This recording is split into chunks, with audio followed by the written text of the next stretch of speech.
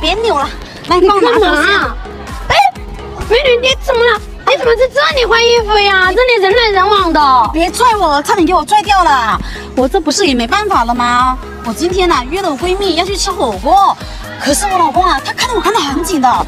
我每次穿的显瘦好看呢，他都不让我出门。女人穿的好看一点、显瘦一点，不是给他长面子吗？你这个老公一点格局都没有哦。哎呀，其实啊，他也是怕我穿的显瘦好看，被人家拐跑了嘛。哦，那你这样说也挺有道理的。现在女人多难找啊！嗯，哎，你没结婚吧？结了呀，我老公可爱我了，他就是不愿意跟我一起出来逛街而已。爱你还不跟你逛街，说不定啊嫌弃你穿的不好看呢。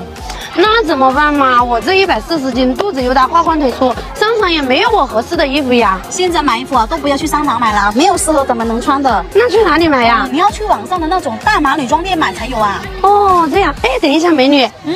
那你这一身衣服看起来挺好看的，你看看那肚子全部能遮住哎。肯定啦，是我这个裤子显瘦。你看我的肚子还在这里，只不过被它全遮起来了。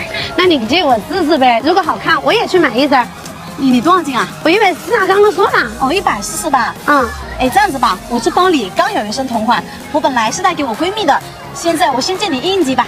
这个这么小能穿吗？看着能穿，这个是大码的，能穿到两百一的。你别看它小，你看它弹力很大的。那你帮我看着点。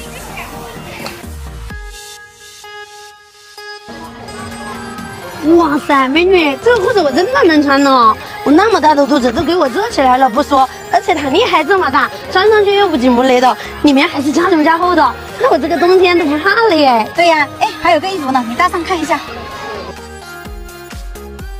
这个上衣我也好喜欢呀，软软的，一点都不扎人，这么大的弹力，穿上去一点都不紧。你这一身衣服在哪里买的呀？快告诉我！哎呀，我教你嘛，你看。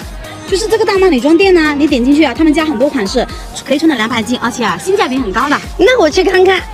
哎。